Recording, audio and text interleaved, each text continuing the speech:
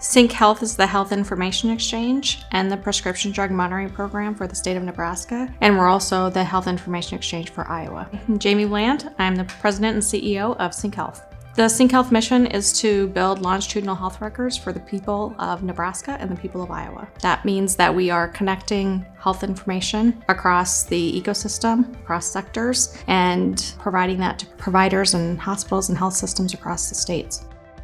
Nebraska is very unique in that we have very urban areas as well as highly rural areas and even frontier counties. So we serve that very broad diversity as far as uh, technology capabilities and population health capabilities. So we really try to meet providers where they're at and bring in the data that's needed to power the technology as well as ensure that the data really follows the patient. So if a patient from a frontier county that was seen at a clinic comes into the Omaha metro area for care, then we want that information to follow them.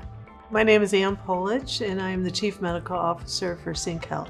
Right now, healthcare data is very fragmented, and any patient knows that as they go to different doctors and have testing and procedures. A lot of times, they're the ones who have to take that data to the next stop. And so, really, that's what uh, a HIE does it aggregates all that data so it can be found in a common locale and really gives the 360 degree angle of the patient and correlate all their data into one place. When we first started looking for an HIE partner or new technology, we really started to look at who was best in class in this technology sector. And we uh, selected InterSystems because we needed a partner to grow with us and recognized that we were doing things a little bit differently and really trying to meet providers where they're at, acquisition of information.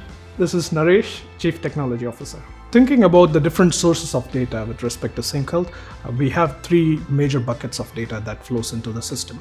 We have the health information exchange data, we have the prescription drug monitoring program data, and we have social determinants of health data. So all these data flows into our system in near real time, and we need to make efficient decisions across these different sources of data to make it a longitudinal health record all across. So HealthShare is one of our core components for providing our health information services for our customers.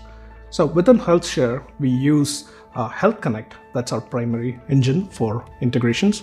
So we are also using Health Insights, basically which enables us to create the aggregated data into a longitudinal health record perspective. CyncHealth follows a hybrid approach for handling analytics and we use Health Insight uh, extensively. There is also downstream applications which needs data from Health Insight. At CyncHealth, together both with our state and local partners, healthcare providers, and with patients, we all are now in a movement that we can move healthcare forward together and in a way that we use technology to improve health equity. So strategically, if we are thinking about the influx of data from multiple sources that we discussed so far, it makes a complete logical step for us to strategically move towards a health data utility from where we are right now.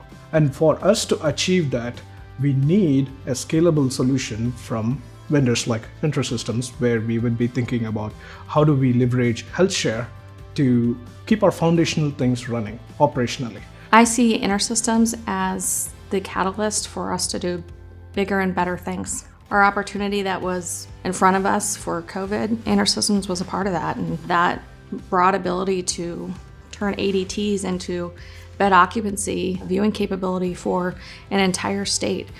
That's something that seizing the opportunity to show that capability and that that can only be done by the technology like InterSystems and the programming like we have available at CyncHealth. I see that as the solution for public health systems of the future.